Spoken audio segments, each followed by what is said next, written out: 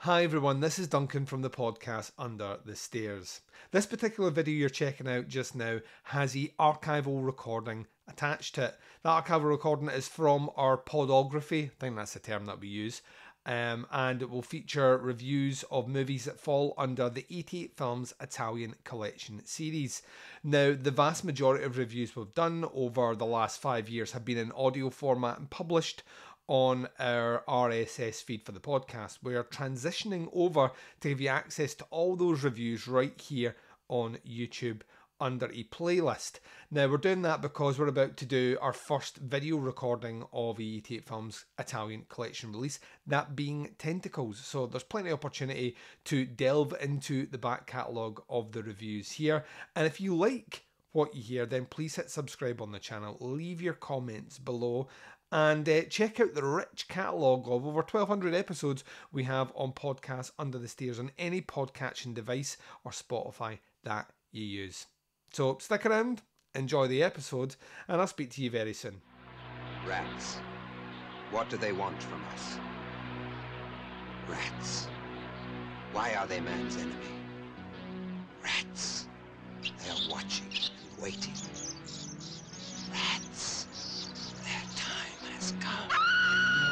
Why do rats repel us? What is it about those little furry bodies that's so frightening? Just think of them close to you.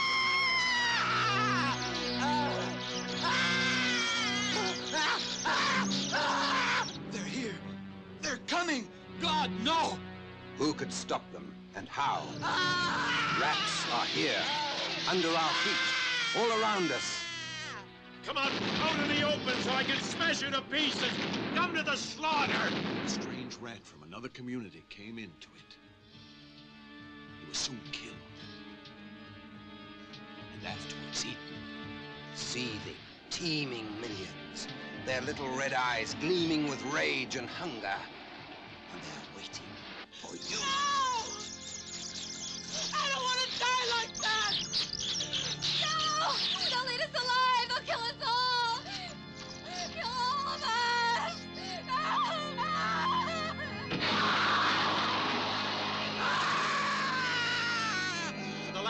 I'm warning you. Drop the guns, Kurt. Go on. You'll never get away. You two move that console and barricade yourselves in. No. I'll try to stop them.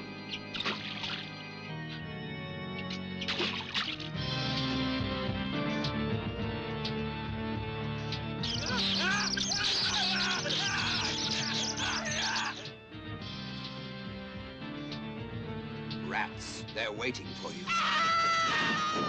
Tonight, because this is your night of terror. Here come the rats. And welcome back. You've just heard the trailer for disc number 46 of the 88 Films Italian Collection series. This is Rats Nights of Terror. As listed on the 88 Films website, it says thus It took some time for Fright fans to really groove to the eclectic, insane, and often inane brilliance of the late Bruno Mattei. Now, belated, viewed as a master of cut price plasma spillage, the time is ripe to revisit one of the great man's wildish, uh, wildest accomplishments Rats, Nights of Terror. Unveiled to audiences of video violence in 1984, this post apocalyptic potboiler sees some of the last humans alive grapple with a horde of flesh eating rodents, and the shocking final revelation that has fast become Mattei's signature twist. Also featuring a superlative, superlative, superlative some cast that includes such Italian gore legends as Octaviano. This, this bit is just to fuck with Duncan. Octaviano della Quala, uh, who was in Zombie Flesh Eaters, uh, Geretta Geretta of Demons, and Massimo Vanni of Zombie 3. Rats, Nights of Terror is a creepy creature feature that positively oozes with intrigue. I don't know what's happening with my, my mouth today.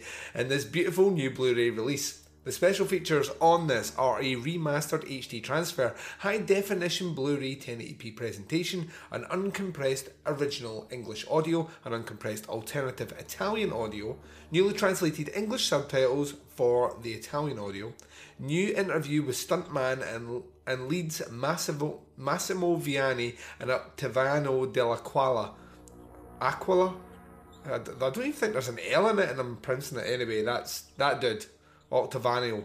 Um, new interview with composer uh, Luigi Sarcelli.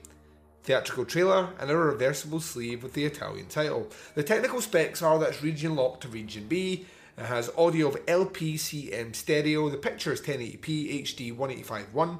The runtime is just over an hour and a half. The language is English and Italian on the disc with English subtitles. So this is one that I am very familiar with, having never seen. Mostly because I know what the twist ending is, and I've known what the twist ending to this movie has been for quite some time. I can't remember exactly how it was spoiled to me, or if it was one of those ones where I was reading a book um, about horror movies and that sprung its way in there. But this was one that was known to me, and trust me, I will not spoil this for you because I know there's a lot of people listen to these reviews that have never checked out the movies. Uh, so I won't spoil it for you. I will say the ending, their classing this is like the most insane reveal ever. It really isn't. And if you've seen other movies of the creature feature variety, and without giving too much away, if you've seen something like Planet of the Apes, um, this this kind of falls within that territory. The movie itself, I was actually surprised. I was, I'm not the biggest Bruno Mattei fan, and I know that might shock some people out there. I think what he does is fine and fun, and as long as he sticks to fine and fun, I think he's in his safe lane. Um, none of his movies are excellent, and I think that's maybe, I think that's maybe the bit that that kind of always sticks with me. He gets a lot of time and a lot of traction for people talking about his stuff, but I think all of his movies are kind of middle of the road. Um, I do like Zombie Creeping Flesh, and I know what you're saying, Duncan. Zombie Creeping Flesh is amazing. I can't believe you just said that. I don't think it's an exceptional movie when you compare it to other movies of the time from the, the area of the world that they were being created. So I, I find these movies bonkers. He tends to throw a lot against the wall to see if any will stick. And some of it does, some of it doesn't. Um, and that's kind of where I land with the Rats Nights of Terror. Um, I mean, it's fun, it's bonkers, it's cliche, and it's hitting a shitload of different tropes that we've seen done in American movies up to this point. I mean, I, I love the fact that we're leaning right into the idea of these. Uh, this kind of post apocalyptic world where essentially people are scavengers, but they're like 80s punk scavengers, which right, okay, I know plenty of movies from this era where if you were doing a genre movie, everyone had to dress like kind of crust punks. Um, and that's what they look like here. They're like somewhere between. Imagine the survivors and Day of the Dead were all punks, and that's kind of the cast of this movie. They really don't care about anything. Or really don't care about anyone and happen to stumble across this area where there appears to be food and clean water and you know um, access to newly growing plants and whatnot. And this kind of inspires them to uh, to kind of cut loose. And to be honest there's weird power struggles within this group here um, there's uh, you know, kind of sex used as a weapon in here as well. And in the background, these rats that have grown to kind of have a taste for human flesh. And that's your background for this movie. And I mean, it's fun for what it is. There's clearly people throwing a lot of either fake or real rats on people, kind of Fulci style. You know, like characters are turning around and getting a, a like a fuck ton of rodents flung at them, which I mean is fun to watch on screen. I mean, it's a bit ludicrous. You know, oh the rats bit me. Oh, I can't take it off me. You know, like we get we get a lot of those bits where you really are sitting there kind of scratching your head and trying to work out exactly what this is being aimed to do. You know, who this is exactly aimed for and what sort of terror this is actually supposed to generate. And whilst this is all going on and doing its thing, um, I found myself kind of losing interest by about the about the two thirds mark. My attention was starting to wane, and it wasn't because things weren't action enough. There's plenty of action scenes. The movie knows that like every five to ten minutes something big needs to happen so we need to have some sort of body reveal or someone being attacked or whatnot and that was fine it's just like i say i just felt that it was going a bit flat until maybe the last 10 minutes and then the movie really really does pick up and the ending whilst not being the most original thing in the world i did find absolutely fucking preposterous like to the point that I like genuinely thought I was going to piss myself laughing. Um, and that laughter continued through a good two hours after the movie had finished. I was still thinking back on it and giggling about how ludicrous the whole situation was and how it made not a lick of fucking sense. Like, absolutely zero sense at all. And then the movie finished. And I was kind of sitting there going, well, uh, what do you make of this movie? I mean, I think it's one of those ones that is worth ticking off the list. I don't think this is near top tier Mattei, if I'm honest. And as much as this is going to break some of the listeners' hearts that have been following this journey with me, this is not one I can see myself rushing back to anytime soon out with let's talk about movies with goofy fucking endings. Uh, and then certainly it comes back into the conversation for sure. The Blu-ray print is immaculate. It looks really good. The sound quality is excellent on it, and I dug the special features for sure. Dug through them when the movie finished, and I had I had a blast going through them as well. The copy that I bought came with a nifty slipcase uh, and the poster, which is kind of cool, although weird shape, um, kind of lobby like thin lobby poster shape, uh, which was interesting. I don't know what the fuck I'm going to do with that, but it was cool to see that. Um, the soundtrack's bitching. Really, really enjoyed the soundtrack and like the set design and the cinematography were kind of cool as well. So we had that. It's a cheap fucking movie, and you can see it's a cheap fucking movie, and that's kind of Mattei's specialty, and he he does quite a lot with very little. I think overall, my my thoughts on Rats Night of Terror is that there is a, a weird place in the early 80s for Italian genre cinema where they start to infuse, you know, Giallo's kind of gone.